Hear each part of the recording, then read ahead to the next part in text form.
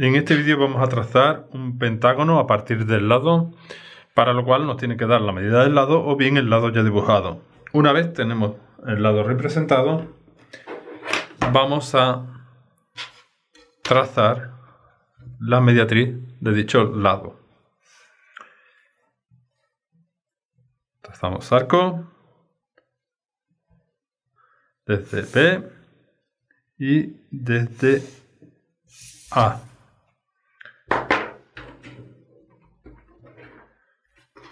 Nos interesa el punto medio, así que simplemente usando ambos puntos voy a localizar el punto medio que es lo que nos interesa. Ahora bien, vamos a trazar una perpendicular por, el, por uno de los extremos, en este caso por el extremo B, y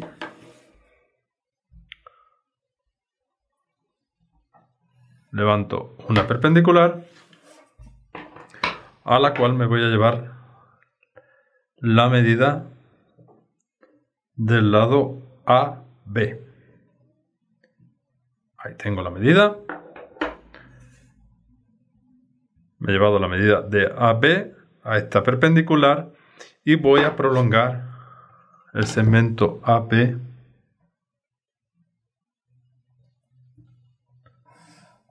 un poco más. Ahora concentro en el punto medio que habíamos obtenido y abriendo el compás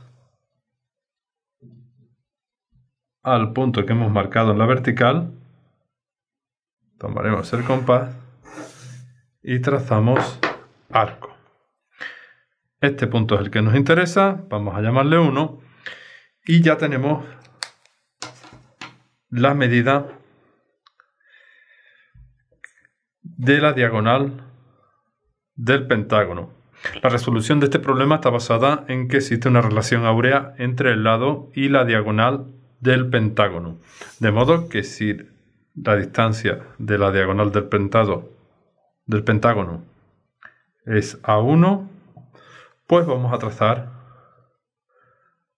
arco desde A, ya que sabemos que desde A van a salir dos diagonales, y trazaremos con la misma medida arco desde B porque sabemos que van a salir dos diagonales y de hecho la diagonal que parte desde A y desde B hacia este punto ya nos ha resultado útil. Aquí tenemos un vértice del pentágono.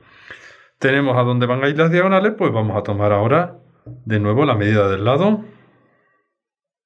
Tengo la medida del lado AB pues con ella desde A trazo un arco, ya tengo otro punto, otro vértice del pentágono y arco desde B y obtengo el otro punto que me faltaba. A, B, aquí estará el vértice C, D y E. Ya solamente queda unir los puntos B con C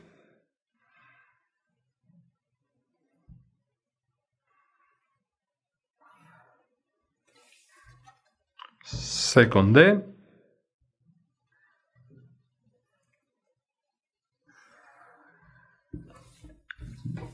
D con E.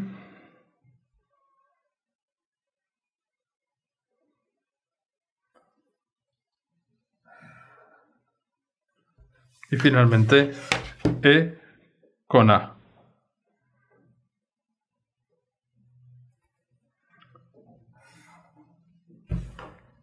De este modo ya tenemos un pentágono dibujado a partir de la medida del lado.